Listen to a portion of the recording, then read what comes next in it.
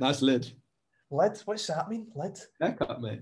All right. Oh, cheers. Thanks. That's the missus that's uh, thingy, uh, done, done that. We're on lockdown, so it's a uh, nice fresh. That's tight. That is. That nice, is tight.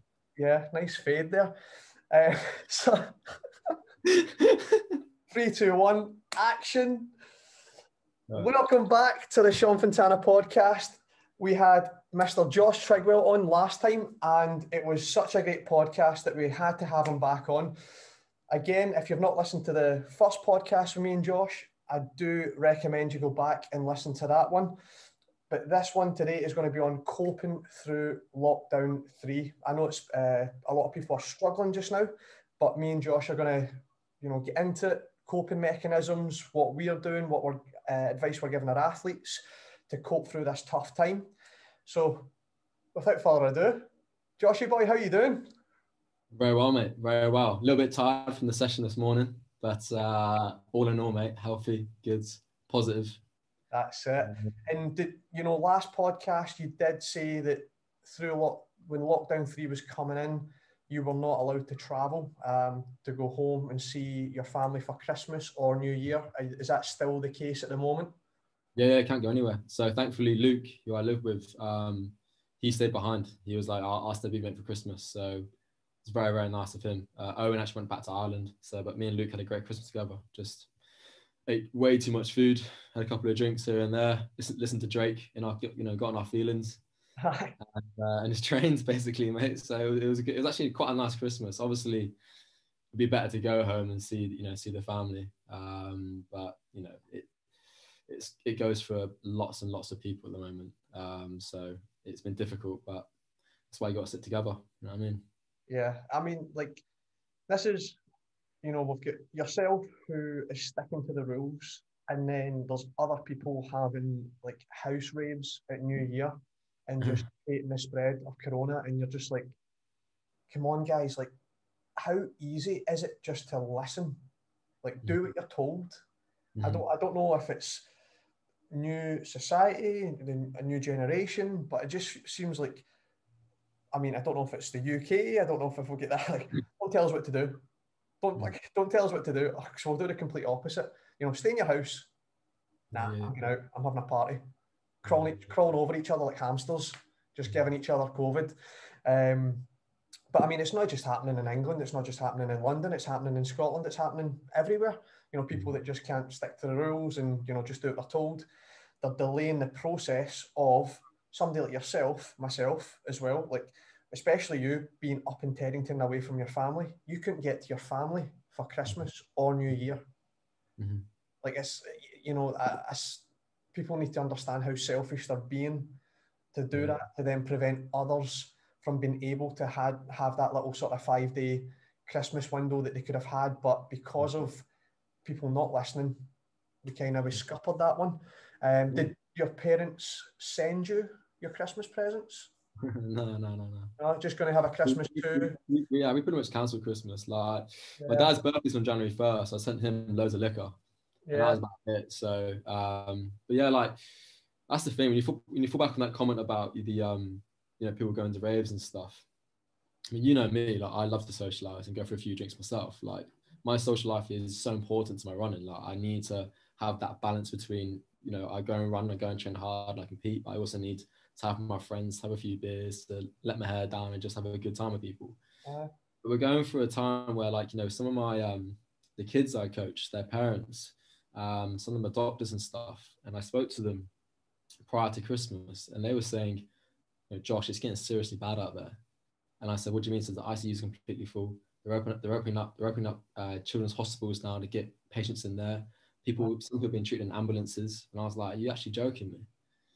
That's how serious it's getting. Like, I'm, I mean, I live in goddamn next to Bushy Park. You know, I don't, I'm, I don't really see much of what's going on, but to yeah. hear it from her perspective and she says to me like it's a proper war zone you know what i mean it is that bad mm-hmm. um, but because people aren't seeing it and it's not being put on tv as much in terms of actually seeing the actual evidence of what it's like in hospitals yeah. i mean they are doing a bit better now in terms of you're seeing nurses stuff being interviewed but it's yeah it's it's quite scary to kind of see the level of what it's got to you know yeah and I, I don't know if some of some of the UK or some of the world are sort of taking precedent from you know a lot of Americans think that this is a hoax. You know, there's a lot of you know that they think it's a fugazi and stuff like that, and you're just going, guys, like the government wouldn't be actually shelling out their money mm. to people to stay in their house to do nothing mm. and at, at one point could crumble the economy yeah. a hoax that just would not happen so it's it's it's uh you know I'm it's I feel the reason I think I'm gonna I'm going on a wee bit about it is because I actually feel bad the fact that you can't actually go home and see your family. Yeah, but it's the same for millions of people though. Like, and in the end, like the way I look at it is like my family's healthy. Like my, mum's recovering from cancer, which is great. Like she's pretty much on the mend, which is mm-hmm. amazing. Like my dad's healthy, my cousins, mine are healthy. Like everyone's good. Do you know what I mean? Like it could be, I could be, I could be at home. My mum could have coronavirus. My dad could be in a really bad place, but everyone's healthy. So you got to find the silver linings. My mum would say to me all the time, like, without everything that happens in life, find the silver lining. You got to, you got to search for that, and that's really important. And so that's what we did as a family for Christmas. We're like, right, you can't get home, but we're healthy here. So lock yourself in and just be smart about things. So that's what we're doing. Good man. That's what I like to hear. Like, I, you know, I don't know if you do it with your your athletes and things, but you know, get, get, if you've got like a, a, Facebook group or anything like that, or a, a, a, group chat where, you know, just sending them, if you're looking at things from a more positive point of view, you'll mm. find that the opportunity in every difficulty instead of finding all the difficulties within. Yeah. I mean, for me, like I keep all my clients very individual. I know that there's lots of, there's other online running coaches who like to build a build a community, build a tribe. Whereas for me, I like to kind of keep it individual. I think it's very that's very important to me. So I can firstly, it's kind of having that one-to-one relationship with every single client for me is very, very important. And I just yeah, I just want to keep kind of keep everyone. I mean, if they want to mix on Instagram, brilliant. Like I don't really mind, but I'm not pushing towards that kind of community tribe, JRT. Like this is our this is our territory, and no one else can come inside of it. I don't want to do that. You know, yeah. I'm, there, I'm there to help people if they want to run a, a marathon, run on a half marathon, whatever they can come to me and I can set a plan, off they go. In terms of kind of trying to create that positive attitude during this wild pandemic, um, it's going back to what I said in the previous podcast. It's just setting goals every three to four weeks, you know, keeping their mind ticking over. So uh, a few of the clients, obviously, Christmas time is not the best of times a year in terms it reminds them of family and they, they may have family issues and stuff and whatever. So it's quite a difficult time. Mm-hmm. And so for those people, I was setting lots of training like lots of um, higher volume, but done in a in a in a safe manner. Mm-hmm. Lots of rehab stuff, lots of S and C stuff. So I was keeping their mind ticking, and we are doing like little goals every three to four days, essentially. Not like time trials, but just like adding volume here. That let's see how your body can cope with this. Let's see how your, your mind can cope with that. And so they're constantly engaged in the training. So off work, and so they have far more time to be with be in their heads Mm-hmm. And so I utilize that time to be like, right, let's really engage you in the training for the next two or three weeks yeah. and see what out of it. And then it's like going to a training camp. You know, like they often say, you can always find two or three percent more in a training camp in, in a physical way. Mm-hmm. Uh, and that could be altitude training or could be, you know, just a summer camp, you know, somewhere in Portugal. You can always get maybe some one, one or two percent more of an effect from your training. So I sort of took that into the Christmas period for my athletes. Like, okay, let's use this time now to really give it a little bit extra percent and see what we can get out of it. So focus on sleep, focus on your diet, focus on the hydration side of things. Mm-hmm. Look after your head when we're not training, and then just see what the end result could be uh, mid-January time, which has been you know really good for a lot of them. Yeah, so. good. No, good man. And um, how's and how's your training going? It's going all right. Um, I think we spoke a lot about it in the, in the previous podcast, and obviously we spoke about it just before coming on here. For me, right now, it's building that base. And I said to you, you know, I want to get to April time, just physically really, really fit. You know, I, before jumping on here, you know, I did a 10 mile tempo at 516 average, you know, and I felt smooth. I felt, you know, I felt comfortable. Um, and so for me, it's like if I can just get to April time, running say 10 miles at five tens and be able to pick up the last mile quite quick um, and be able to sustain and hold, you know, my long runs for 20 miles, 22 miles, and utilizing my recovery time. I've actually put on a bit of timber, actually, believe it or not, because I've been, I've been so much calisthenic stuff like pull ups, press ups over the last six months. I've put on a few kg actually, which is really surprising, but I feel better for it. I don't know why. I don't know if it's going to help me at all. So when I see Craig, might be like, right, lose that right now, and I'll be like, oh, but I worked so hard to get it, and when I get time to lose it. But um, I feel like physically like really good. Yeah. Um, but I think yeah, like I said, the main thing for me now in my in my head is to get to April time and be just so enormously fit that I can just be like an open book to Craig and just be like, look, I'm I'm in great nick at the moment, so let's work with this right now, yeah. rather than saying like we said, when you're injured, you take for granted that fitness. When you are fit and healthy, so I kind of want to take that mindset and be like, right, let's let's let's attack this. You know what yeah. I mean? So that's really important to me. You, how you getting on? Yeah, good. Uh, you know, just little little steps every week. Um, this week I've done around 40 miles. I'll probably finish up at 40 miles this week. You know, mm-hmm. not the typical 120, 100 mile a week sort of stuff that I love to do, but you know, it needs must. Um, making sure I'm on the bike, cross training on certain days, taking taking a lot more time to look after my body because at the end of the day, like you're saying, it is when you're injured, you're you're wishing you could be back, but when you're back and you're flying, you do take the position that I am in right now mm. all for granted when you push that extra five, 10 seconds in your, your mile reps or your tempo. Um, you know, and we were saying this on the last podcast, you know, this one really got to me because I tried my best to hold myself back, but, you know, still shit hits the fan and life doesn't go your way all the time. And you've just got to, you know, reset, refocus, and you know just deal with the the card, the hand, the hand that you're dealt with at that moment in time. Butt in there for like one second and tell yeah. you all because we spoke after the podcast, the first one, because we just kept chatting for like half an hour about everything, and you got super emotional, didn't you? Oh, about whole 10k, and I thought I remember like I remember that you were just literally like visibly started getting a bit teary, and I was there going, wow, like really, like this is this is your passion, like through and through, like you know what I mean, like you're so like I didn't want to like walk away feeling bad about it. I was just like, man, that is that is a passionate lad right there. If you need to see passion visually, do you know what I mean? So uh, yeah. I was just like, oh, I know. Sorry, keep, no, keep going.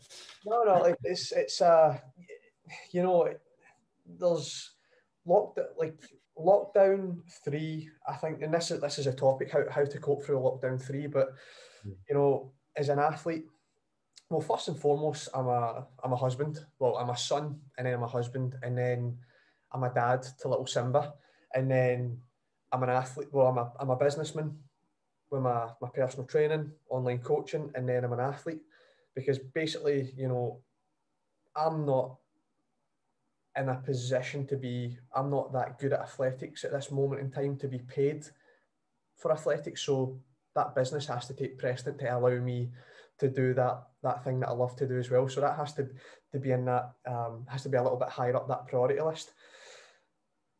This lockdown three, at like when we, we, we go back and you know we're, we're chatting the first podcast where you know I actually there's a lot of people out there that when they got when they knew they were getting back into lockdown, there's probably people actually going, yes, I'm getting furloughed.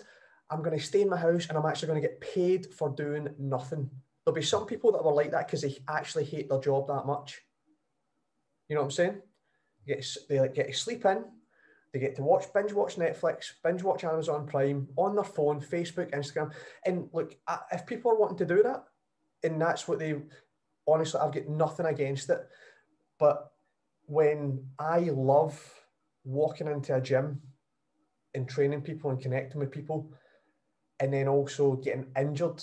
Two big things that I love in my life that aren't going the way I'd like them to go. And also, I've lost around about, I've lost when I just I just done my taxes there. I've lost thousands. I mean thousands of because I fall through the cracks of the um, the last person, the last self-employed people that would get furlough was if you'd done taxes in 2018 to 2019 and then were trading 2019 to 2020. I paid tax in 2019 to 2020, and then I'm trading 2020 to 2021. So I fall through the gap every single time there's a new furlough scheme out. So, you know, that's why I'm doing the online classes. I'm squat jumping, I'm lunge jumping around my house. I've got the the wee, you know, thing for my YouTube videos and stuff here. I use this as my little studio. I've never been more injured in my entire life this year, but I've also not done as many classes in my life as I've done this year. And that that's not to say that, like I said, business got to pay the bills, got to pay the mortgage, the car, the, the council tax, put food in your belly, provide for the family. Um, to the point where, you know, I, so, you know, business was going super well.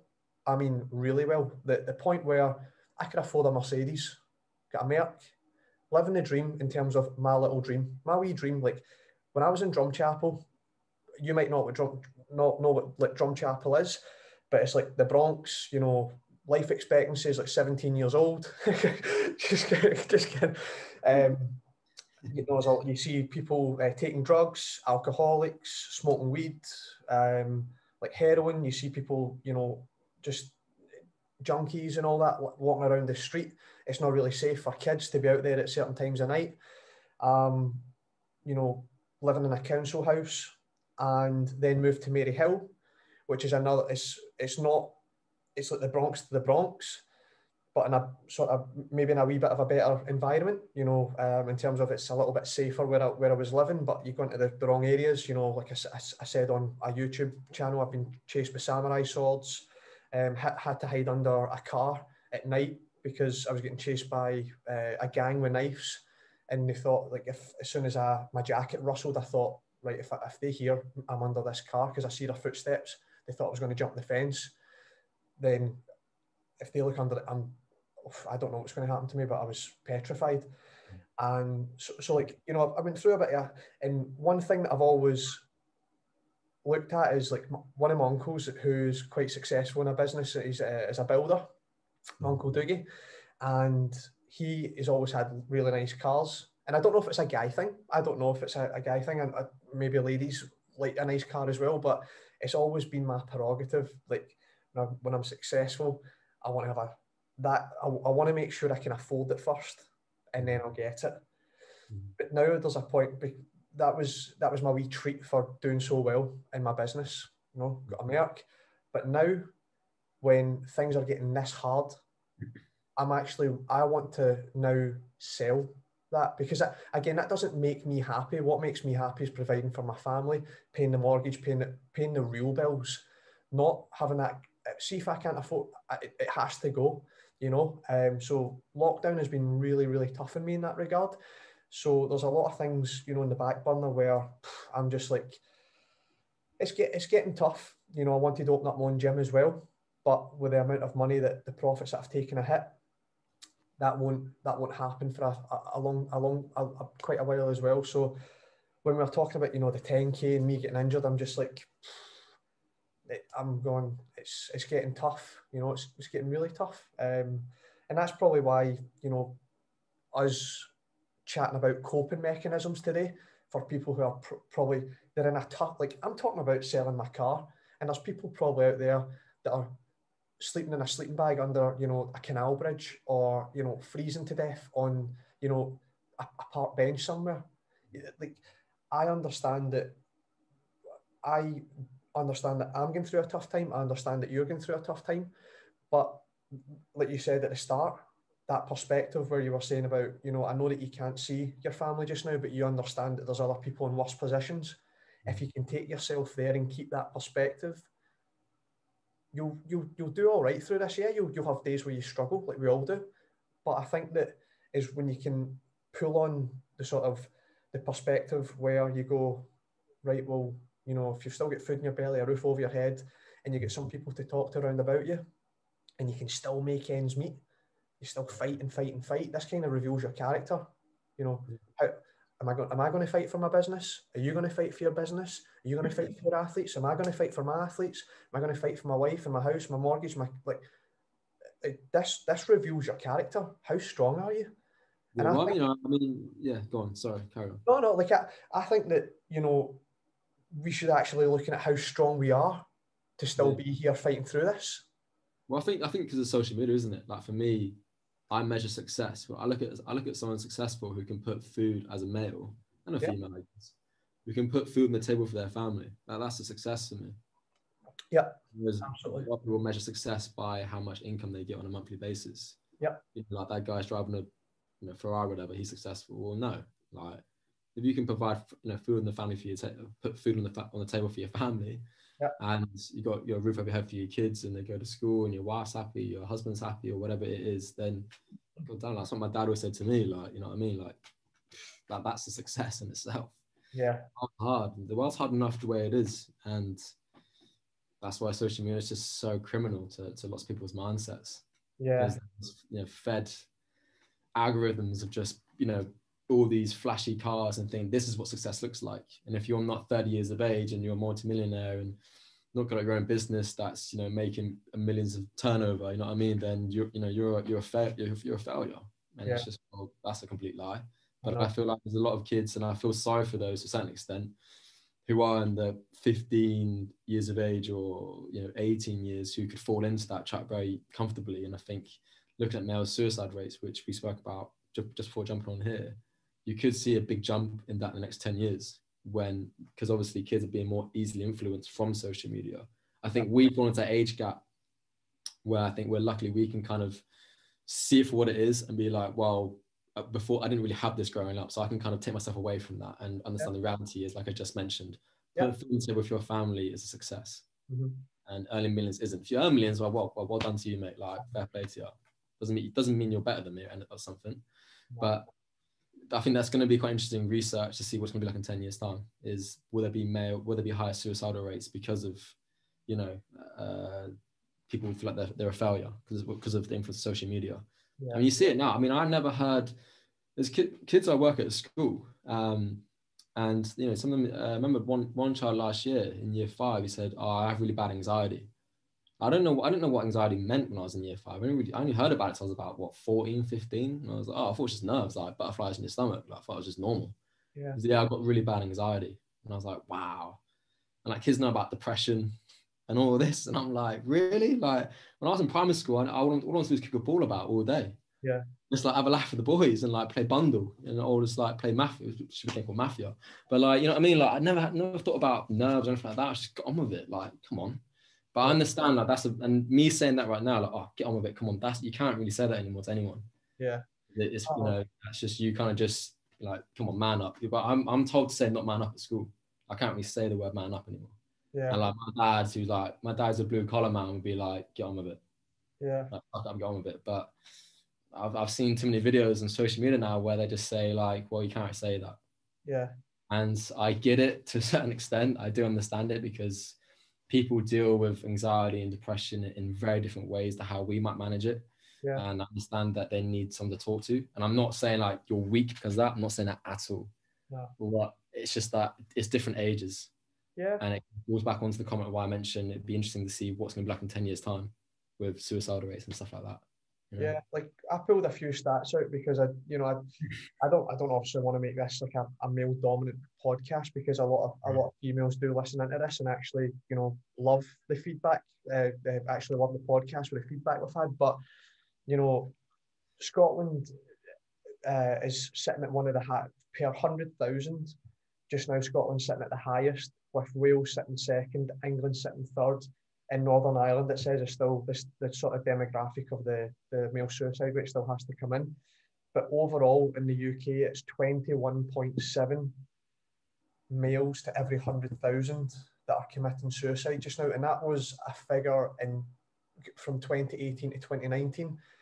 And they feel that the stats will be higher due during COVID, uh, during this this sort of pandemic.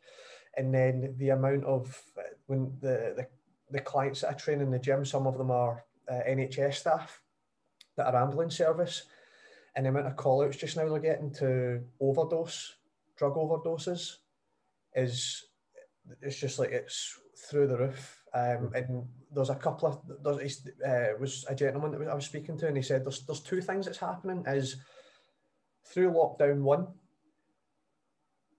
addicts couldn't maybe get what they wanted during that time, so they actually had to they they, they, they were restricted to what they could have. So then when lockdown one was over, they went they tried to have what they had before lockdown one, but their bodies couldn't cope with it, and they went in overdose. You see what if you if you know what I'm saying? Um, there's because their sensitivity was actually decreasing, and then they go in and they, they load it up with what they had previously before lockdown when they could get their hands on stuff. They kind of went cold turkey ish, and then yeah. get back up and overdosed, and then also because of just like just not not enjoying this this way of life at this moment in time, and you know whether whether that be a male or whether that be a female, like we're working it's working through we are going through a tough time. Um, and like you were saying with the anxiety and the depression, like those those numbers are going to keep going through the roof. and with social media, like me and you, me and you both know that like it's the same as like if we, you know, get this bottle of water here and you know, you drink too much water, you can drown yourself, you can die with too much water, but it's good for you, you know, to a certain extent. Anything used in the right way can be good for you and the human race, i.e., the messages you send out on Instagram, the messages I try and send out on Instagram. If you try to use it in a positive light and try and create positivity, energy, inspiration, motivation, focus, drive from these posts, great. But I think that you're right in saying that when Instagram has these algorithms, it will latch onto you know what you were maybe searching for a couple of days ago. It's then going to start popping its way into your feed if it's in Facebook, if it's in Instagram, and they're they're manipulating. They're, they're basically. I feel they're trying to push you into a corner in the nicest possible way, saying buy or die. That whole like Wolf in Wall Street, like you you suffocate them like on the phone, you know, when Leonardo DiCaprio's like they buy or they die, you know, that sort of thing. Um, in the nicest possible way. I feel that they're just they're just pushing you into a corner and making you think that you had the conscious decision to buy that item or were looking at it. But it was a it was a subconscious seed planted many weeks or months ago through you know subliminal marketing, advertising, whatever it was, and it just kept flicking up every you know every so often and just enticing that part of the brain that was getting stimulated towards going towards that item. Um, and then when you're saying about the life as well, like, you know, the fast life of these guys in Ferraris, Lamborghinis, mansions, helicopters, millionaires, billionaires, you know. Some of them, and some of them do flash it all over the place on Instagram. Yeah. You know, so like basically, you know, if I go back to me having a nice, like me having a fancy car, mm. you didn't know about that. No, I didn't, I didn't actually. Nobody, nobody knows about that because I don't. I, I don't want to portray that life on Insta. I don't want to portray me sitting and driving and thinking that this is a this is a. It's not because the reason I got there was through tears. Well, basically blood, sweat, and tears. You know, where there's been times where I've been in work with two root canal infections and I, look like a chipmunk, and my, my clients are giving me like we. Uh, one of my um, Indian clients gave me uh, a wee box of cloves because it's got that the clove oil, like natural clove to put underneath my just to, so that I could bear the pain during training sessions. It came in where we because like you know the flu, eh, like I would uh, there'd be points where I'd be sitting on a I'd be sitting on a bench after training and have no food in my tummy and sitting there and being like I need like my legs I just need to sit down because I've done a ten hour shift, ten clients and I'm going just I just need to, my legs are killing me today. Like, and they'll they'll understand. Like, it's all right, and I'll be I'll still be training them. It's like that's what gets you to the end goal. It's that suffering, that sacrifice, that desire, that ambition, that drive to build. Yeah. You know, it, it doesn't. It didn't. It didn't. You know, the the life that we have or the life that you build comes from the, the decisions you make. Mm. And I, I feel that when we have these action and ambitions. Everybody has them. So you, if you say to me, you know, Sean, I want to run three thirty-five for the fifteen hundred, or if, if we've just say like ten k, I want to break thirty minutes for ten k, Sean. For listeners that probably you know people would understand the sort of thirty minutes for ten k. Sean, I want to run thirty minutes for ten k. Right, so there's your ambition. Now I set you the training plan, and you then start missing days well, your ambition's up here, but your actions are down here. So we're not meeting in the middle. We're not actually, we're not meeting. But if you if you go with that plan and you get everything done and you're hitting your three minute Ks or your 255 Ks faster than race pace, then what happens? Your mm. action and your ambitions both meet. So mm. that's a that's a good place to be. But I think a lot of us, when we were speaking off the podcast there, with you know everybody wanting that Ferrari, Bentley, Lamborghini lifestyle, mm-hmm. ambition, mm-hmm. they don't want to work seven days a week. Mm, yeah, yeah, They don't want to. They don't want to work till 10, 11, 12 o'clock at night. Mm. So what I say to people is, you t- you tell me how much you're willing to suffer, and I'll tell you where you can go. You tell me where your ceiling is, and I'll tell you what you can get for your ceiling. So if you tell me seven days a week till midnight, I mean your ceiling's up here. If you tell me you want to work Monday eight till five, and that's it, you don't want to do any, then your ceiling, you lower your ceiling for what you're looking to expand for in life because you need to be willing to suffer and sacrifice for those bigger and those those high end things.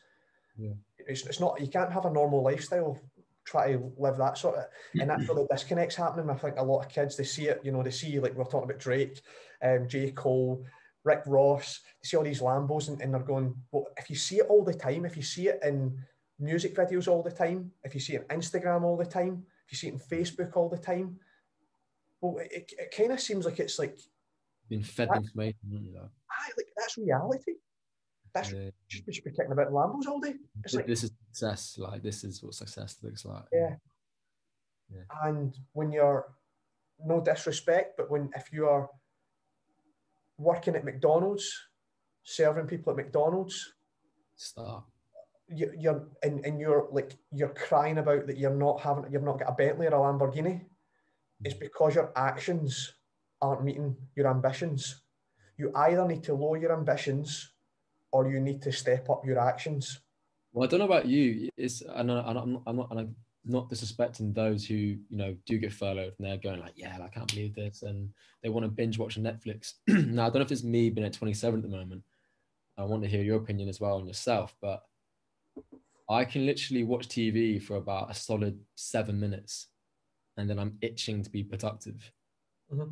And that could be uh, texting a client or updating some plans or looking at my looking at my own training. What could be doing? A bit of rehab, bit S and C. I'm have to, I can't for the sake of me sit down for more than 10 minutes. And it could be a case of I need to like have, look at myself a bit more at the moment in that perspective.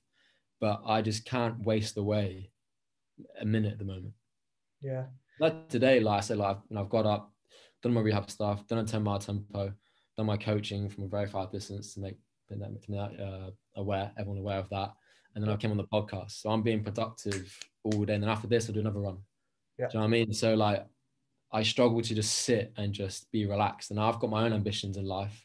Like, you know, you know, the Mercedes and stuff. Like my thing is to get myself a motorcycle and then ride to Milan, you know, this summer. Like that's but, but completely by myself. That's like a goal of mine away from running. Yeah. So like, I want to like do that sort of thing, you know. Um, but I think it's interesting because I often say about you, Sean, is that you're someone who just you're a very passionate person, and I think your passion will change as you get older with different uh, subjects. Mm-hmm. But I think it's critical. What's interesting is that passion comes from the word, uh, the, the, Latin word "passio." Might be saying it wrong incorrectly, but "passio" in Latin means suffering.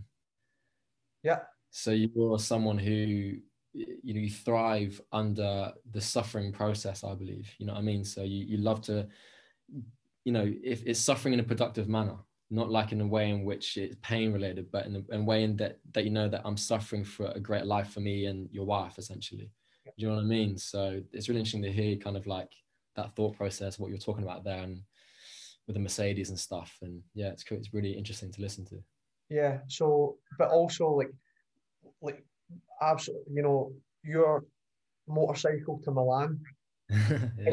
like I genuinely believe, see if you can afford or you work so hard that you can afford to do these things in life. Yeah. And that you want to do them and they are part of your you as a person in terms of exploring. Yeah, yeah, yeah.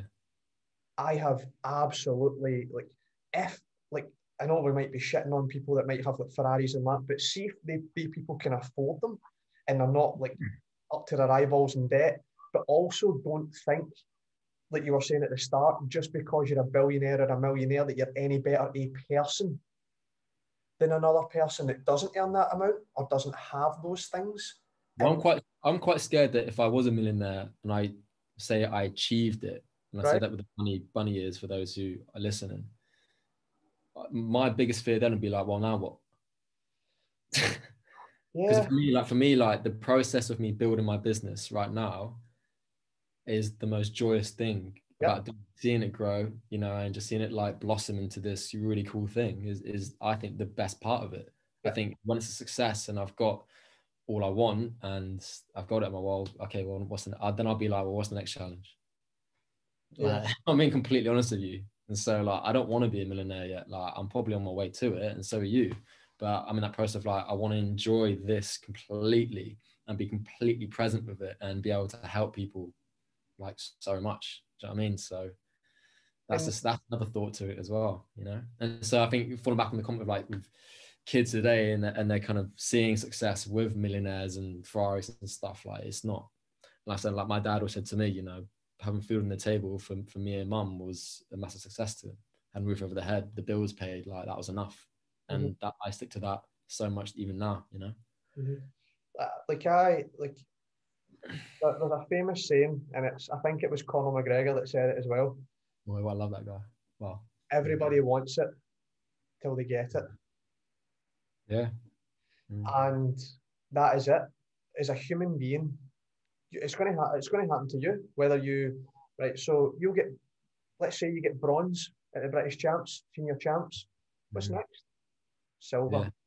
What's next? Gold. What's next? Retaining that gold medal. Double yeah. double. Like we that is that is I think the beauty and the curse of us as human beings.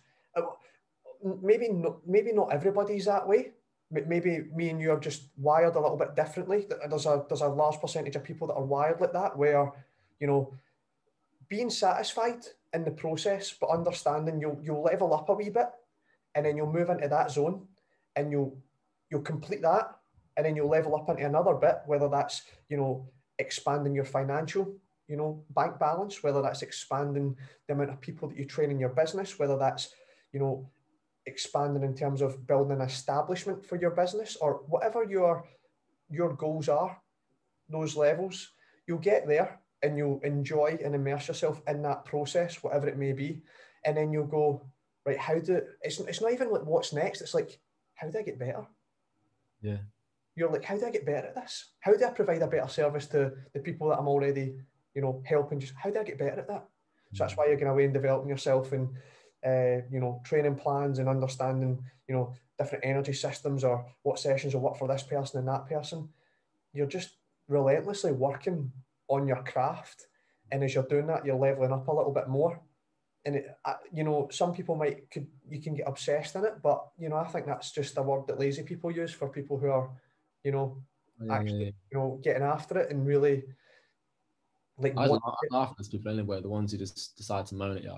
Yeah, uh, so I, I, I love that philosophy that you've got. Like this, you know, I, I know you asked me like in the last podcast, will I ever be happy? And I said obviously short answer, no, because we'll always try and find the next thing to, to keep progressing, being never being never full. The next high. Yeah. Yeah. And I think you've also got that within you. I think some people have it at I guess what you could just like controllable levels. Some people have it at like some people like it's a gift. It can be a gift and a curse. Eh, like we said about the water, it can be good and it can be bad. You know the, the how you use that obsession and that passion to to how you you make things grow or how you you know your stepping stones in life. You can use it in a good. The most important parts as well, though. The stepping stones are the most important part. I think. That's it. Yeah. I've got, more, I've got so many like targets this year. Yeah in both the online running myself and obviously what I want to do away from running and stuff. Like I've got it, all, I've got it all written down somewhere. Like I know exactly what I know exactly what to do and how to get there. Yeah. And I think people like, to, I, said maybe a minority of people, but they like to kind of be in dreamland. Whereas I like to literally physically write it down yeah. and then be like, right, how do I get here? Yeah. And, and that's it. And I then I next year I'll be like, right, well, how do I up up it from last year? Mm-hmm. So it could be motorcycling all the way to India or something. You know what I mean? Like, yeah That's it. You. You know what I mean? Like it's just it's for me. That's what it is. It's it may, maybe it is such that high, but you know what I mean. Like it gets me out of bed in the morning. Yeah, and a human being that wants to wake up in the morning, that's got focus, it's got goals, Yeah. a want, a desire, Yeah. passion, a drive.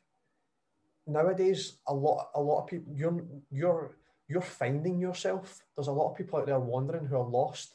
And I want to say this as well, actually. I mean, you, if you got kids what listen to this, like 17, 18 year olds, I think it's a really important thing is that you can always go out, right? Go out and party.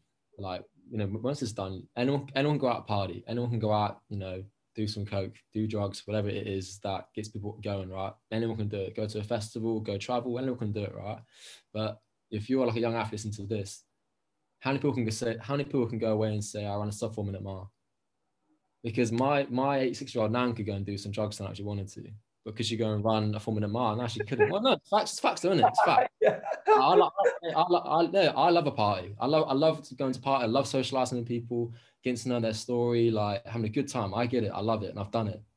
But I'm at a point now where I'm like, you know what? Maybe if I actually miss those parties, I could be at a high level in athletics and getting paid for it more. Right. So I, mean, I possibly made that mistake. Now, if you're a long, if you're a young listener, I recommend to you just have that look at it in that perspective instead. Like if if I went back to what to when I was like 18, 16 even, sometimes I missed a run to go to a party. Now, right, if that's me now, this sort of mindset, I'd be like, well, f that party, man. I'm I'm going for a run instead. Like I want to be up in the morning, smash a session. So I want a GB vest, I want an England vest, I want to go Olympics because people can say that they're an Olympian? Like, I mean, in the end, it doesn't make me better than anyone else. That I'm Olympian. It makes me no better. It makes me no better than the person next to me because they're incredible at something in their own craft. Yeah. But for me, for myself, it'd be like looking myself in the mirror of a tattoo, going like, "Look at me, I'm, I'm a G right now." Like that's for me. That's for me only, not to me Yeah. to say you're here, down here, and I'm up here. Not not at all. Just for me and be like, I'm I'm I'm I'm this right now. So like, that's what I mean. Like, and that's the difference for young kids if they're listening. Don't know. I don't know why it came up, but I just wanted to say it. Like, No, like I, I, I 100 like when you're an athlete with time, time is not on your side. It's mm. it, there's a ticking clock and there's a window of opportunity, and every day, sorry to say, that window of opportunity just gets a little bit smaller every single day, and you've got a you've got a time frame in which to achieve your your self-driven, self-motivated goals.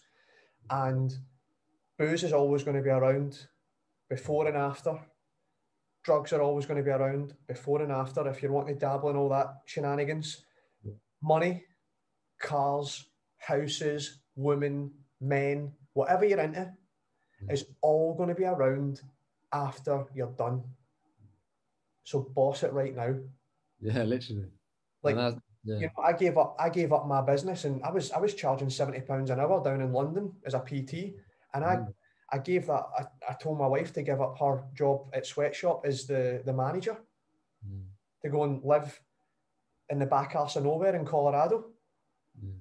for for a, and a, a full scholarship in al- altitude because I I just I was like I was so like because I came back from altitude from France, bossed it at 10k. I thought, well, altitude must work for me, it, was a certain environment that worked for me, and that was having yourself and Vernon and all these other great athletes around me, and then taking a wee break to altitude for a wee while and then coming back to that nice environment. Being in a i was i was maybe not in the environment was conducive for my type of personality of you know when that competition got started and at altitude you've got nowhere to go in terms you can't come back down to sea level to recover. And um, i took a big but because time take those opportunities and grab them by the absolute grab them by the balls man and just get after it. Like Yeah. you're you're 27 uh, see mate see if i could be 27 again just 27 give me three years back. Yeah. i'd be doing stuff a lot different. I'd probably make some i probably i probably still would make similar mistakes because obviously Yeah. you know you know you know i'm stubborn mofo but you know it's time man. Time like you've got it these kids as well if you say like 17 18 year old kids they have got it and I think you're going along the lines of do something today that serves you as a person mm-hmm. to make you better tomorrow. Don't don't yeah don't fall into that peer pressure of going out to a party because I did a couple of times like and it's yeah. get there and then the next day just like wasn't really worth it was it really let's be honest with you and so yeah like for young kids listening just get on it you know just be productive people people have fun you know people at first will laugh at you and like say you know a bit of a lone wolf and stuff but once you start to bring some, you know, bring some success to you, to your name, and you know the family name gets a bit higher up, and a bit more people start to know you and recognize you. Then they want a piece of you. Yeah. And then by the time you made it big time as an adult, they'll be the ones a while oh, I knew that guy or knew that woman. Yeah. So, you know, it kind of it does a complete reverse. But they didn't want to know you when. Yeah, so first are the ones going like, yeah, sort off, mate. See you later. Like, we don't want you here anyway. Then it goes, well, I, uh, yeah, like he's a he's doing all right for himself. Then it turns to, I knew that guy. Yeah, I was really good mates with him or or her. You know what I mean? It's a complete reverse effect. So be stubborn, be solo, be a lone wolf, love it. You know what I mean? Yeah. Last day. So do you think it's see because all this social media, do you think it's harder to be a lone wolf and think for yourself just now? That's a good question, mate. Very good question. uh, I mean, I could answer first and then like yeah, you're first. Yeah, so yeah. I think that societal pressure has made it harder for kids because we're so connected now. We are so connected, and our I think our value system has completely flip flopped to shit. Sorry, my French, but I feel that we are now on this grind of the priority scale of how many followers, how many likes, how many views, how many comments. That is now what we want to identify with. That's now up in our priority scale. Like that's what our values. If people love or like or whatever they do, or views or share my content or my post on social media, my value as a person's gone up because I have more likes. If I don't get any, or I don't have any followers, I don't have any friends on social media, I don't exist as a human being. Mm. And a lot of people nowadays, there's been a lot of stories nowadays where kids, male and female, have committed suicide because they have felt worthless in, on social media. So they means that they they felt worthless as a human being in reality.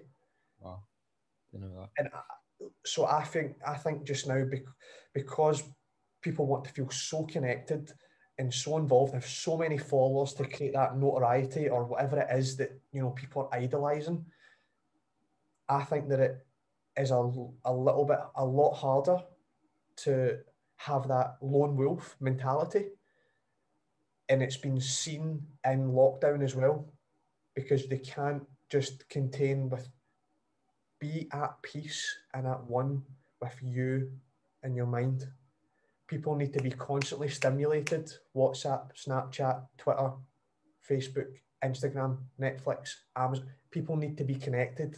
They need to feel connected in some sort of way. They can't just shut it all down and go, that doesn't serve me. There's research that isn't there research that says like when you get a buzz on your phone, it releases like it releases serotonin in the brain. Yeah, yeah, yeah.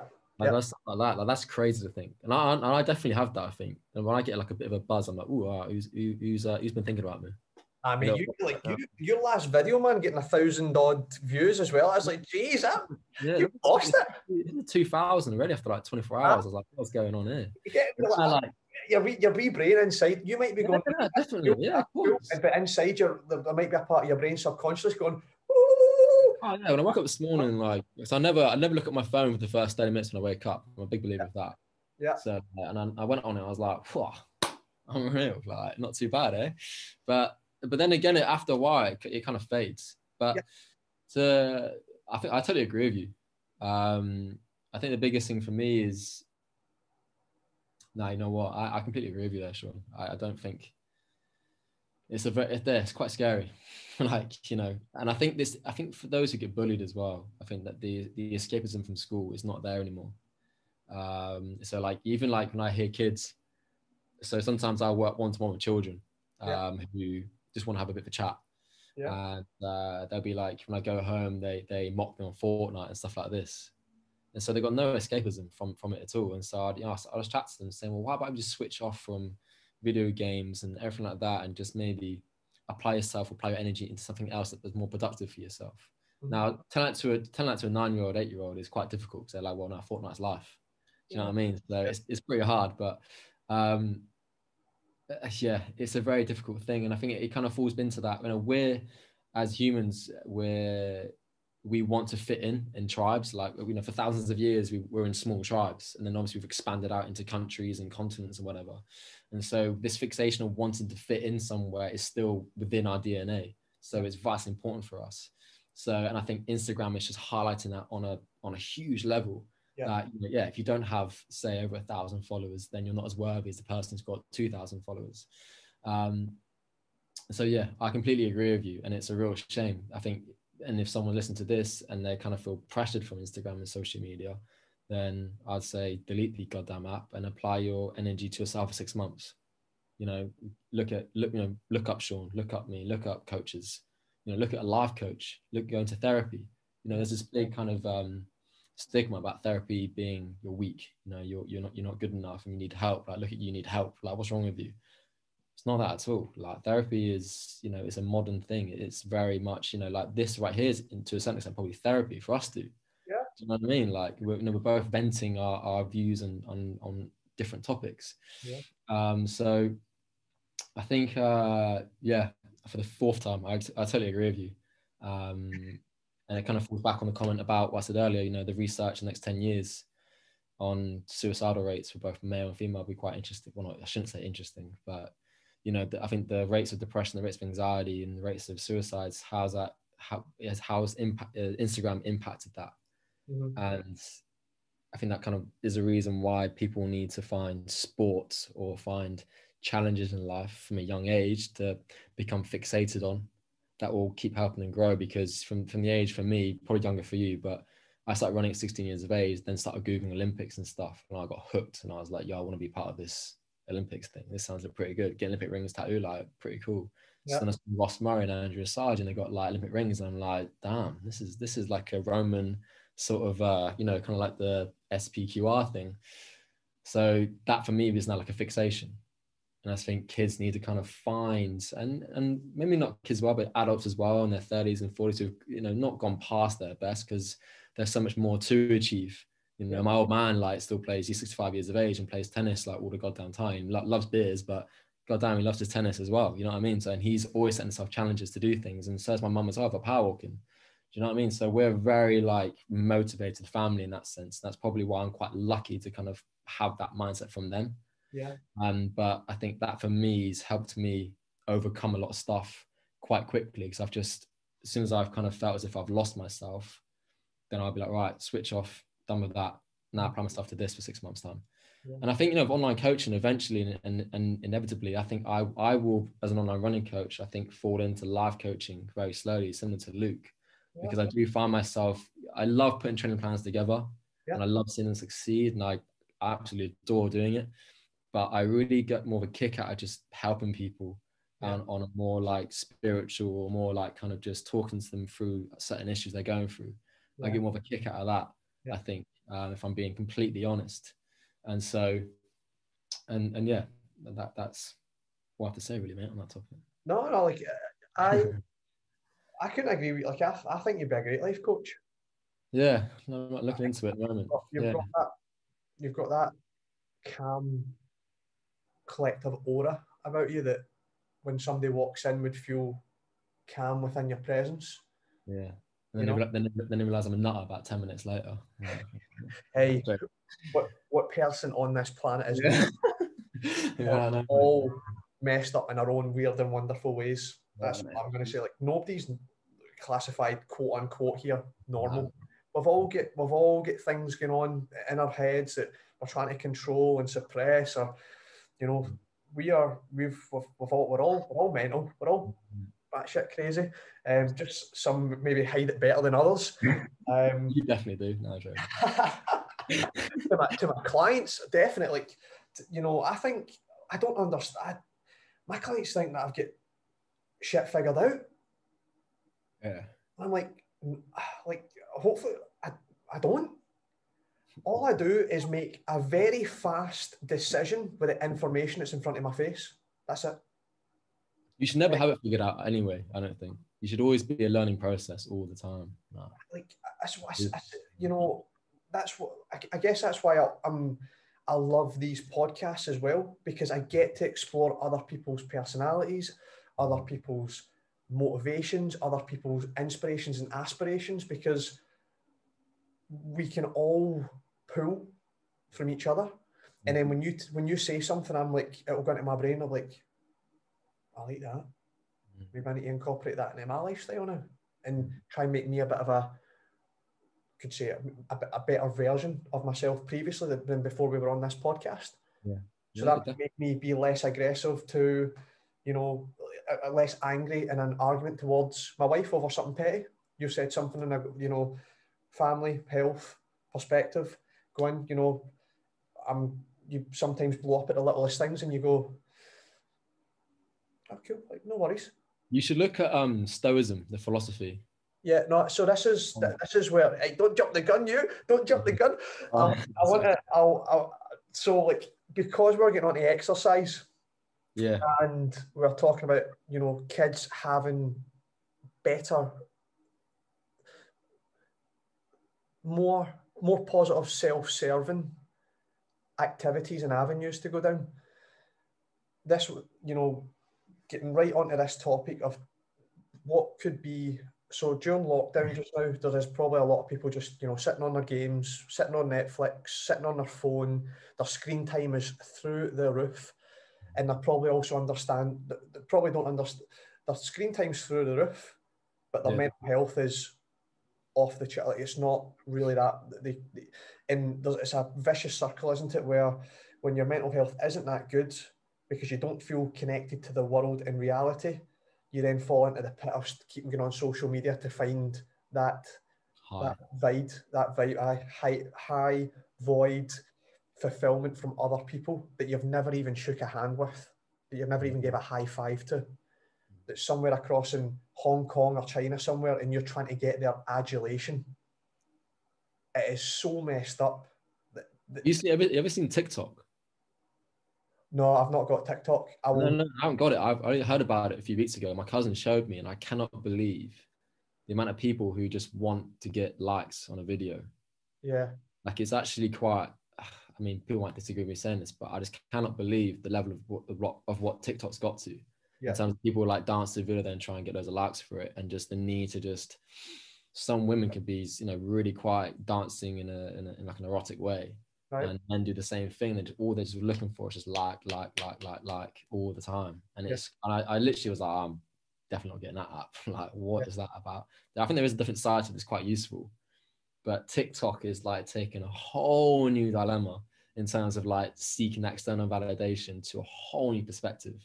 And there are quite a lot of kids in like year five, year six who've got the app. Right.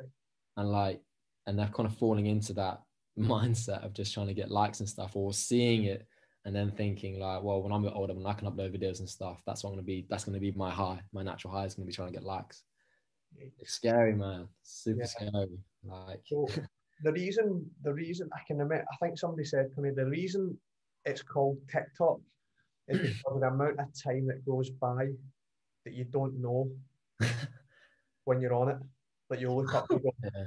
holy shit, I just spent an hour on TikTok. It's like TikTok, TikTok. The time goes by. I think, I don't know, and you know, somebody can quote me if I'm wrong, but I, I genuinely feel, I think that's why it was called TikTok. Because when you watch all these videos and then you want to then replicate or, you know, yeah, yeah, yeah, I yeah, yeah. You're spending all this time on it and it's just TikTok, TikTok, tick. You spend all this time could be wrong. You know, if anybody's on here, you know, quote me if I'm wrong. I'll t- I, I'll take the hit. I don't care. But it is proper vanity and superficial at its highest level. Mm. Where is the meaning? Where is the deep meaning behind? There is some useful stuff in it, like like I don't it, look at on a different, there is like on if you she did show me some stuff that she looks at, and it's like right. quite quite it's only like 10 second videos but on the whole like the trending stuff it's always like dance to dance to certain music and stuff. And Yeah. this- I'm like, well, I don't really get understand the point of it. Yeah, proper vanity. Yeah. Um, so, you know, what what would you say through, you know, to try and get away from those devices that don't serve us in a, a positive way? Unless you're getting paid from it, if you if, see if you're getting paid multi millions from these platforms, like go on, get on it, and you know, blooming, you know, that's that's your job. Get after it. You know, like Yeah. hey, each to their own. Like you've got to you've got to pay the bills, like we're paying our bills and everybody else. Like you've got to mm-hmm. hustle, and if if that's what's you know making you an influencer and making you money and paying your bills and giving you the life that you desire, then mm-hmm. all power to you. But just you know, I guess from both our sides, we just want it to try and be from a more don't don't pull wool over people's eyes and don't bullshit them and stop making them think that they're worthless just because they don't have a certain thing, product or house or in a certain location that their life doesn't mean any more to them than it does. Like we're all we're all the same, you know. We all we all bleed when we get cut. We're all the same, you know. Um, but what would you, you know, from your experience, coping mechanisms then to help serve you in a more positive way? What would you say would be better to do in in in, in times that you can sort of serve yourself in a more positive light? Well, especially during lockdown three, Lockdown, essentially. Yeah. And then and then those habits could hopefully then move into even when lockdown finishes, they can build that good habit just now and I've got the time. And Yeah, then yeah. Well, I think that that that kind of falls back on um, James Clear, doesn't it? Atomic Habits book, where. Yeah, it's just about small habits. So small habits lead to big changes. So you do things in in small steps. So it could be like read a book, but only read like three pages, and then leave that when you're feeling good about it, and then do it the same next day, and slowly over time it becomes a complete habit installed into your brain. It's like when you go and brush your teeth, you just know you probably are doing the same sort of motions you probably have done the last ten years. Yeah. You know, but uh, in terms of staying uh, positive, I think falling back on the comment about stoic, right? um, I think I'm a very, I'm, I think I like to say I'm quite a stoic person. Yeah. And what I mean by that is obviously we're going through a world pandemic. Me and Sean have spoken about um, social media being quite a bad influence. There are, you know, there are pages that are great for, you know, for mental health and stuff like that. But I think on the whole, your feed and algorithm and what it does, it can be quite a negative feeling. So I think it's about being able to become completely self-aware and not allowing, like I said in the previous podcast, not allowing external forces um, being able to affect your emotional um, outlook on certain things. So if it's Instagram making you feel bad about yourself in a physical manner, um, I think more so on a woman perspective than, rather than the male. Um, don't let it bother you. You know, you're beautiful in the way you are, and and you know, focus on what you're good at. Mhm. Um, I think that's really really important. So just for so firstly, not letting external things get the better of you, because being stoic is about you're you're completely aware that you can only, you can only control your environment and your environment only. Whatever people decide to do to kind of infiltrate that um, is their own actions. And if you allow them those, those actions to affect you, then that's going to have a negative effect on you, creating a domino effect in a negative way. Um, so, Sorry to interrupt. Is there any books or things that you would recommend to sort of learn more about Stoicism? um, you know what? I haven't actually read a Stoic book. So I think the best thing to do is Google it. I've done lots of like article reading, so Mhm. like research on that sort of stuff Yeah. to kind of get a better understanding of it and watching um, documentaries on it. Yeah. There was a prisoner who I, I, I can't, can't remember his name who was put in jail for 35 years um, and he applied Stoic um, for 35 years in prison. I think he was a boxer. And then um, he actually was not, he didn't actually commit the murder at all. Hurricane? Is that it? I don't know. It was Is it a- Washington played it in the movie? The Hurricane? Yeah, they made a movie about him. Yeah. yeah. Um, so he applied Stoic philosophy. And Yeah. so it's like, I'm not caging these walls, these walls are caging me or something like that. Yeah. It's just an incredible way to look at it. Um, so I think that's a really cool way to kind of firstly um, view this lockdown in, in terms of that and just controlling controlling your var- your variables uh, and not not letting anything else uh, get in the way of that. Secondly, falling back on the last podcast is setting targets for yourself. Now, obviously, me and Sean do that in a running perspective, but I think it, it could be in terms of completing so many books, or I mean, you can add in here if you want to. Um, just creating lots of challenges for yourself with small targets. You know, I think we spoke a lot about that stepping stones, and for me, the stepping stones part is the most joyous part of the process. The end process is great. You know, the finishing line is great, but actually the process during it i think is the best part of it Mhm. uh, and you hear a lot of um, entrepreneurs speak about that that actually once they get there they're often like well now what? Because actually during the process during the stress during the the you know one step forward two steps back sort of approaches and they've got to deal with the situations actually helps build their character more. Um, but once they get to the top it's like well i've got nowhere else now to improve or to grow. Um, so that's why you see a lot of entrepreneurs then um, go out to to create something new to kind of get that high again um, so setting self challenges, setting self targets is, I think, imperative during this lockdown. Obviously, my lot do a lot of time trials, um, but do it in a kind of flow state philosophy. Ha, Went to the video yesterday, so I think that's really important. So don't do much too soon, because that's that's going to that's going to create burnout. Um, so do it in a manner in which you know. And I loved what you said in the last podcast, Sean. We spoke about it's not about today, it's not about tomorrow, it's not about this week, it's not about this month. It's month after month, year after year. It's gonna make a difference, and that I think that's flow state in a nutshell. So don't look at yourself what you could be by the end of the week. Look at yourself well, what you could be in six months' time. Yeah. Do you know what I mean? So I think lockdown is the perfect opportunity to delete social media if you don't need it, and or to put it to side for a little bit and just completely work on yourself. no one's out doing anything fun at the moment in terms of like partying, socializing, or you know doing things like traveling and stuff like that. So this is the perfect opportunity to put FOMO, fear of missing out, in in the closet for a little bit because I know Yeah. people do suffer with that, and just completely work on yourself. Um, again, last podcast, be enormously kind to yourself. This is not time to be hard on yourself at all. I think if you are, you need to kind of look yourself in the mirror and just give yourself a bit of a slap in the face because it's just the wrong mindset to have. You know, this is this is we're going through a difficult time. You might think it's easy for you, but you know, with the external factors going on, um, there's a lot of things probably going on in your subconscious that you're not aware of that could be having a bit of an effect on your day. I think anyway. So be enormously kind to yourself, have a laugh with yourself. And I think that kind of sums up really, mate, for me anyway. Like that's what I do, you know, set myself targets, being quite stoic about everything. Um, and yeah, and just and just giving to people, you know what I mean? Like giving, like I don't know about you, but I get more of a kick out of helping people and giving my knowledge to people than I do actually receiving it. Yeah. I love listening to people and adopting their ideas and putting it to practice for myself, and then maybe, uh, you know, trying to um, what's the correct word? Not progress it, but like, I guess adapt it to, to like way I, would do it. So I love that sort of stuff, but I get a massive harm in giving out information than just helping people and making people realize, well, maybe do it this way instead. It's like I was thinking to someone recently about, you know, past experiences, and I was like, well, think about this. Like, do you remember when you're in school and you're going through a certain time in school, maybe it's bullying, or maybe it's like you're really stressed with a part, a girlfriend or a boyfriend you had.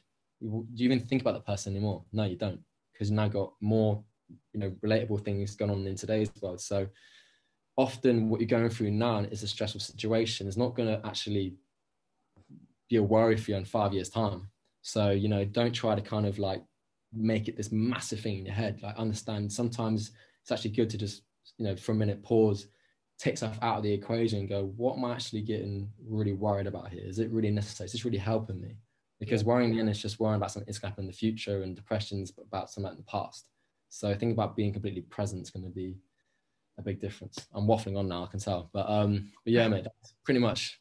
I think, I think like, waffling, whatever you're doing, is I think it's it's all it's all knowledge that people are gonna. You know, sometimes you might think that you, like, you might want to say something, but you might go, nah, you probably won't, probably won't, you know, in. And actually, you you know, you say it and they're like, oh, that that's that's actually really that's actually a really good idea. So, you know, people with the stoicism, keeping present, people then might Google these things and start to Yeah. like how what what has been present, you know. Um, and then what about like uh, do you do you do any meditation or anything like that to then stay present? Do you do some meditation? I do a lot. I don't do as much now, but I try to get in only five ten minutes. I, I completely fall into that. Like I don't do as much as I probably I should do, but it's what I can do in the day at the moment. So I only do about five minutes. But for me, like like I said, five minutes up to thirty five minutes in a week is better than me doing like ten minutes here, twenty minutes there. So this is done on a daily basis. I mean, I was doing up to an hour in the summer um, when I was back home in Devon. I mean, I was still working and teaching stuff online, but we had like kind of long periods. And so I was doing up to an hour of meditation a day there. And that was really quite something. Yeah. To kind of do. Um, it took it took a massive focus to do it. Yeah. But I just kind of use it. I kind of I was kind of hitting two birds with one stone. Because what I'll do is I meditate in the sun. So I'll just be baking in the, in the sun, getting a tan, not white now like I am now, like white as a ghost, and just be like meditating at the same time. So I was getting like one benefit for the mind and one benefit for the skin. So it's quite good. Ah, Habits. Yeah. So, yeah. Yeah. So yeah, meditation. I think I think because it's free, people are like, nah, that's nothing. Meditation is nothing. But and people think that medit people meditate and they and when they first do it, they kind of and I'm not not med I'm not a meditating expert like that, but from what I've listened to and read and stuff, you know, people do it and their mind is just like a traffic jam full of like negative thoughts, positive thoughts, and these ideas are bouncing around their heads. And people are like, well, I'm not achieving meditation here at all. When actually, in fact, that is meditation. You're meant to just let these thoughts be completely crammed up, crammed up in your head, right? And then the more you do it, the traffic jam starts to get a little bit flexible. And eventually the cars, there's no traffic jam, the cars just flowing past your head. And you, you kind of find yourself one car, which now is a thought, will obviously stay in your head for a little bit. And instead of it, you know, instead of you trying to get rid of it like this, you kind of let, let it fe- like fester in your head a little bit. Yeah. Um, and for me, like if I get like a thought about anxiety, for example, which I rarely get at the moment, but if when I was going through kind of that phase, instead of me trying to bury it, I'll just kind of be with it. And I'll be like, right, what am I, what am I getting worried about? This is what I'll do. I'll be like, what am I worrying about right now? So I'll be worrying about this. And then I'll be like, all right, now what's the emotional connection with that? So I'll feel it in my stomach and I'll be like, okay, this is what I'm feeling in my stomach. I can feel it right up here underneath my chest. I can feel it. It's quite a strong kind of feeling. And by the time like I've kind of um, processed it, the anxiety thoughts kind of gone. Mhm. So instead of me trying to bury it, which a lot of people try to do, they bury the negative emotions. I love to kind of feel it for what it is because life is a, I mean, a roller coaster ride. I mean, I want to feel those downs and negatives and depression thoughts. I kind of, you know, I don't love it, but it's good to kind of feel them. I rather, I rather feel like this sometimes and then like this than just that the whole way. You know what I mean? Yeah. Because without without depression and without sadness, then when you're happy and stuff, it's going to feel nowhere better.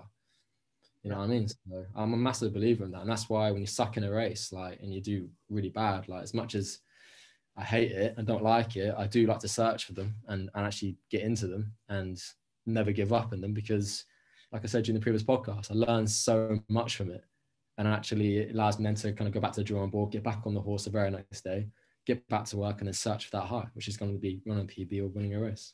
So, yeah. Yeah. Brilliant. And then, is there any books that you recommend?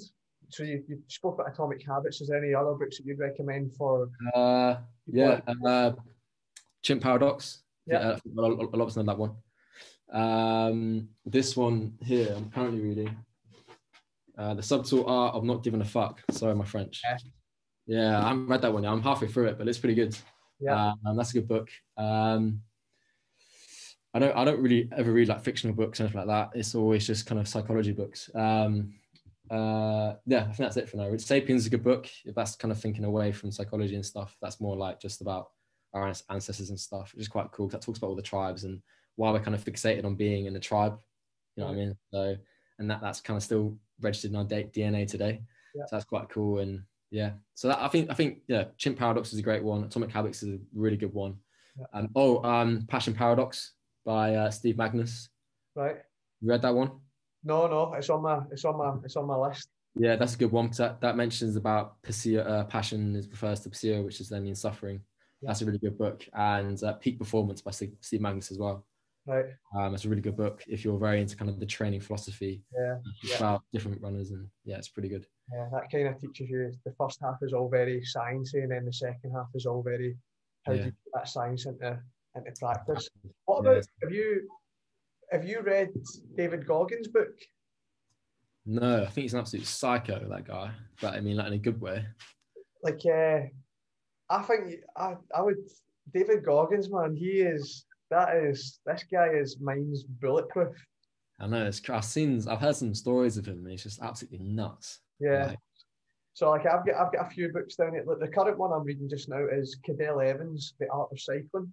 mm, Um, and I really like that because he was a guy that was always either second or third best in the Tour de France. mhm. He was always a bridesmaid, never the bride. And that was like Lance Armstrong, that was to Alberto Contador, that was, you know, to athletes who are starting to get popped for, for drugs. Mm. And he speaks about how you know, at some point, ignorance is bliss in sport. Yeah. Sometimes the less you know, the better. Because um, George Hincapie, uh, Lance's um, basically lead out man, then became Cadel's lead out man. Yeah.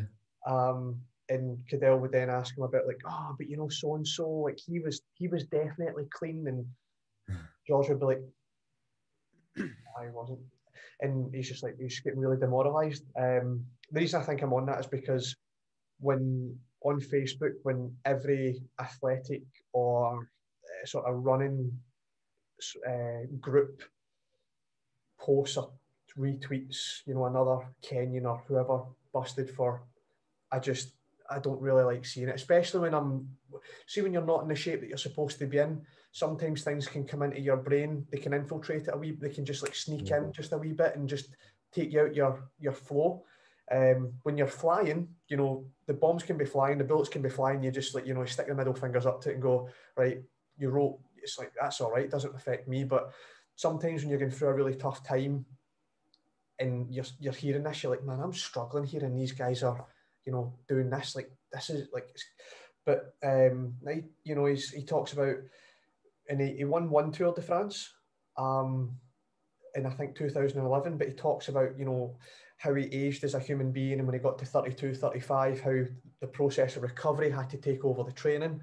Um, it's a, he's and he he loved this the science and the numbers and things like that, being on the, the bike and getting his VO2 and stuff. So that's quite. I, am really enjoying Cadel Evans' book. Um, I like. Uh, I, I know I don't know if, but all basically all of Ant Middleton's books I've really enjoyed. So first man in, um, first man in, and then there's also zero negativity, but there was also another one. Um, I've got it in Audible as well. Uh, that'll get up for us. Kevin Hart can't make this up. Oh, yeah. Swear to God, like see for he use it's not like a co- it's not like a comedy like in terms he's always trying to make you laugh. Mm-hmm. He tries to show you that everything that we're going through is setting us up for something that we're about to go through as well. Interesting.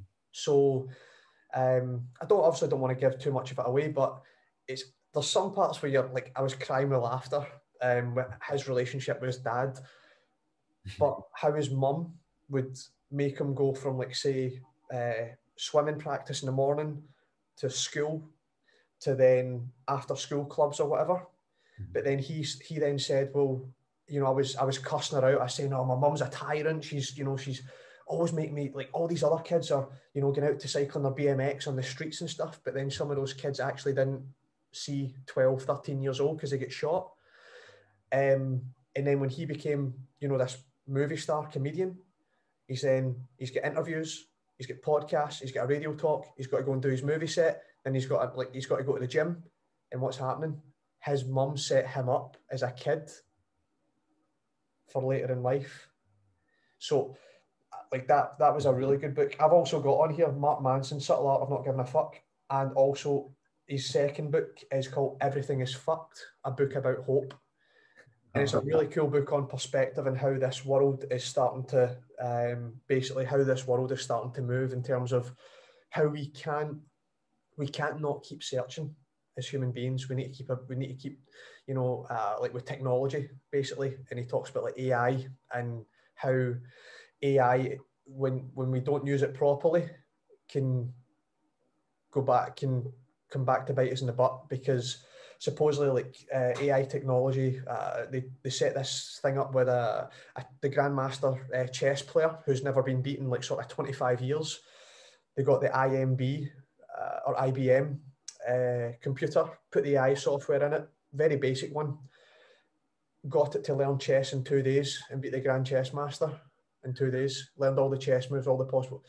So he was talking about how it just you just need to be like being careful with how the evolution of the world's working, and then also because basically like what we're talking about with society, society is making us marketing and consumerism is making us always go towards comfort, i.e., or i.e., you, you get you get the iPhone.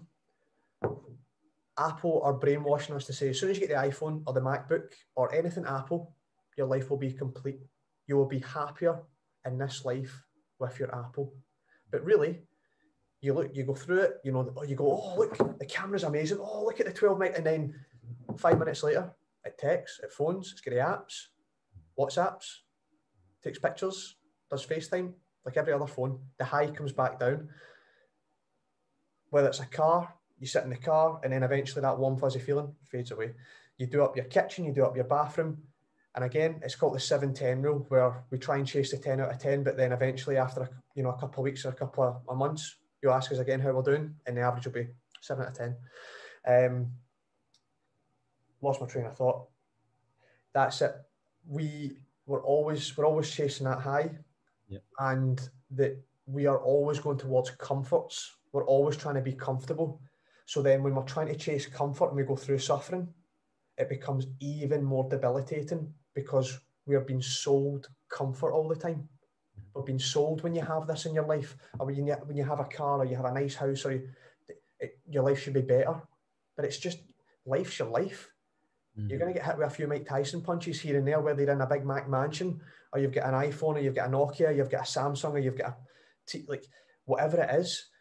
But as we keep chasing comfort and consumerism and marketing keeps telling us to keep going towards comfort, the more we actually, the more pain we feel during suffering because we are we are being sold that if your life is if you're going through suffering in life, that's bad. Mm-hmm. But really, suffering is growth. Mm-hmm. And Mark Manson talks about that sort of stuff.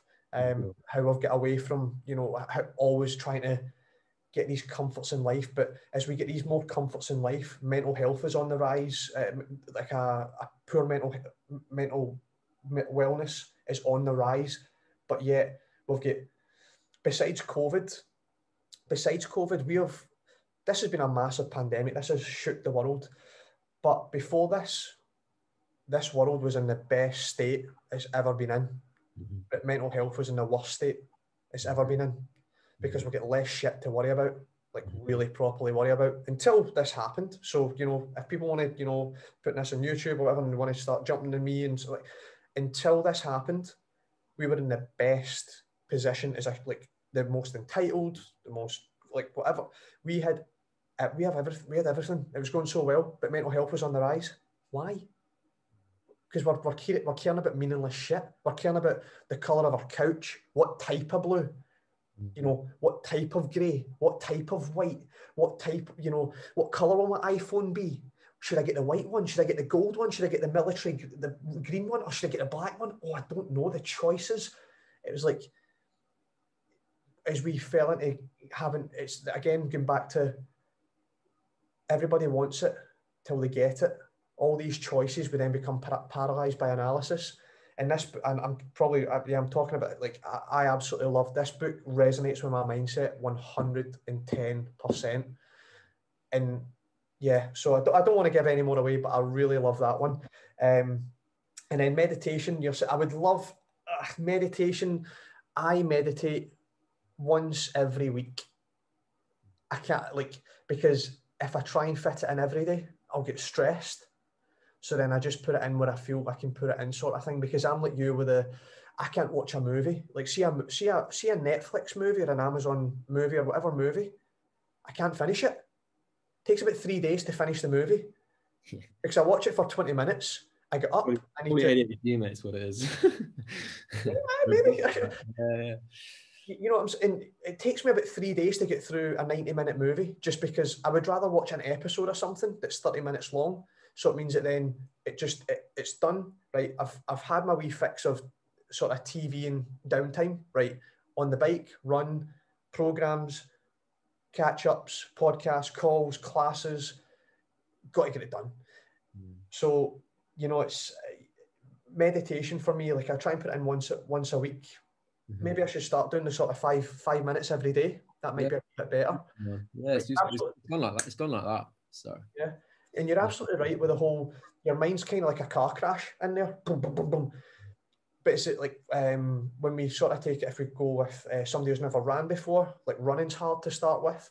Yoga, when people start yoga, they're just like, I can't really feel this because I'm too, like, they're too inflexible, so they can't really feel what it's supposed to be working. It's kind of like the same as that. Like you've got to give it time. You've really got to give your body and mind some time to adapt to these new stimuluses or lack of stimuluses. To you know, like you're saying, allow that mind, uh, the, the the the thought to come in like a cloud, analyze it. Where's it coming from? Why is it came in? And then let it move out. Like I think that's a great thing. Like analyzing like a like traffic jam because all our minds, and I think that's why we hang on to these devices when there's downtime because our, we have to keep filling. We need to keep we need to keep our minds constantly ticking because mm. we we can't have any downtime. We can't have any alone time. So because when we do, our thoughts go a bit crazy, and I think a lot of people nowadays, some people don't want to be left alone with their thoughts because mm. they're maybe in a, a, bit of a bad place. Is that yeah. would you would you agree? Maybe agree with that one? No, definitely, definitely, yeah, I absolutely agree.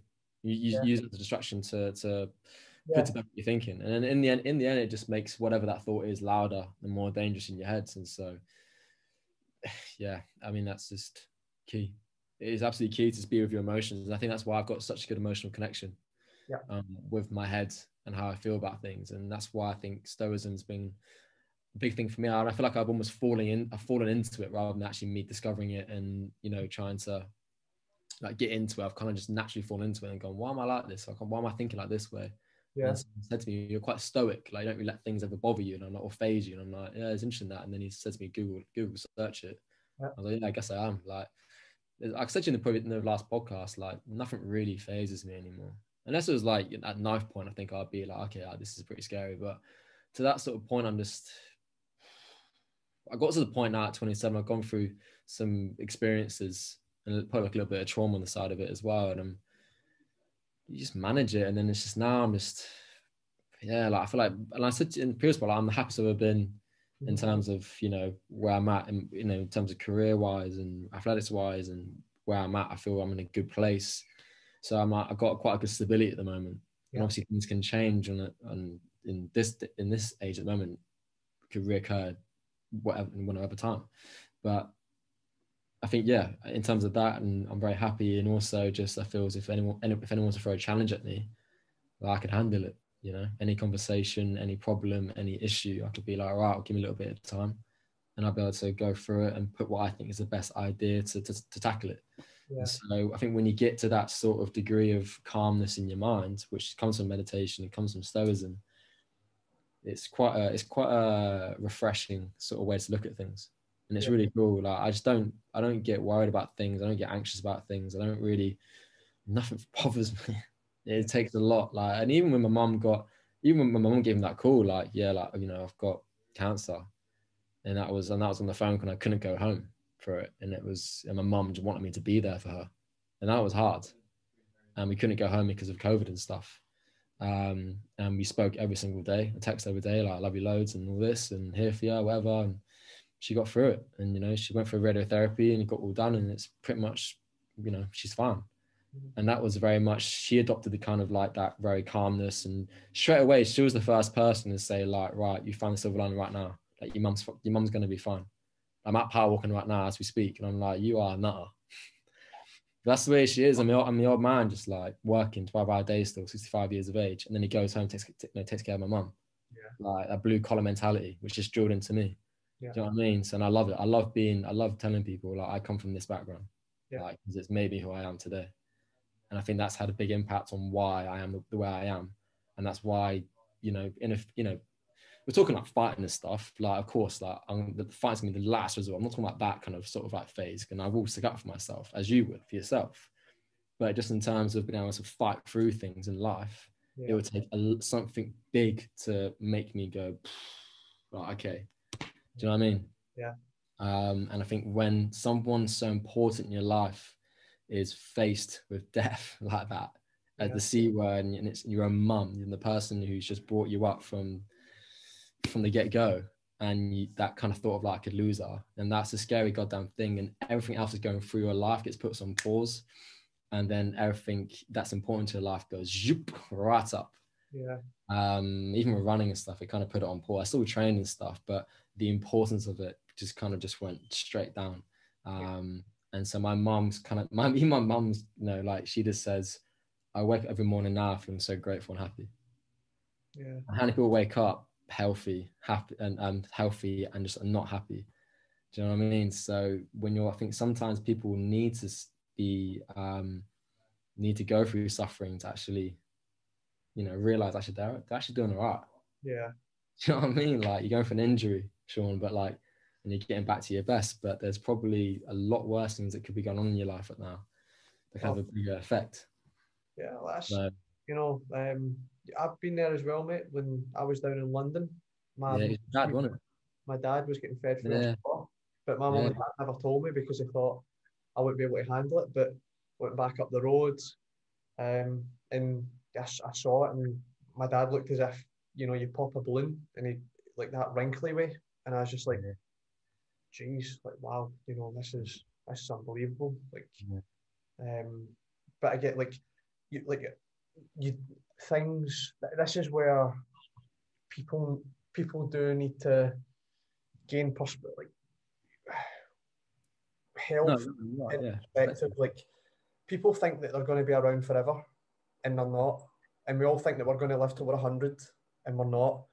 And the day when the doctor goes, or after eating, you know, Burger Kings or McDonald's or KFCs or Pizza Huts or takeaways, or and you go, oh, by the way, you've uh, got coronary heart disease, mm. or you've got, you know, you've you've got calcification of your, and they're like, what? Like, mm. what? You know, what did you expect from living a life that was wasn't healthy? Like, do, do, do you not understand there's consequences and repercussions, good and bad, to every action? Mm. So, like, we get back to self awareness. A lot of people aren't self aware of themselves anymore. They don't understand what they're doing they don't understand why they're doing something either. When you ask them, why are you doing that? I don't know. And I'll actually go, well, I believe you. I believe you don't know what you're doing because we're, we're kind of just like on a conveyor. Some people are on a conveyor belt, just yeah. head down and just zipping through life. Yeah. And That's then, as well. And what happens is things like that give you a shake, give you a yeah. real bloody shake. But hopefully, when it is happening to the person, it's never too late. But yeah. nowadays in our society, I think in our stubbornness and our a lot of people think that they're always right. Mm. I think that it is. I think you can tell people um, and give them advice, and your your advice from your expertise till you're blue in the face, and some people just yeah, yeah, yeah, and keep paying off until it, it becomes catastrophic. Um, in, in this day and age, I feel that people, it's almost like they need to be shocked before the pain pleasure scale in their life flips and they decide to take action. And some, hopefully, it's never too late, but sometimes I think people do take action when it is too late. But, mate, we have spent an absolute minute on this podcast. So I'm going to. That's flow state, man. That's flow state. Time flies when in flow. I'm going to say thank you so much for coming on today and spending time with myself, the listeners, again, giving us a lot of diamonds to, to take away, a lot of gold nuggets to take away and harness and put into their life and put into practice. Um, and yeah, mate, like it's an absolute pleasure again. Hey, also to you, man. Like we need to do this more often. Not me, not a podcast, but something just catch up like this. It's good. Yeah, yeah absolutely, mate. Yeah. You take care, and I'll see you soon. Yeah, mate. Take it easy.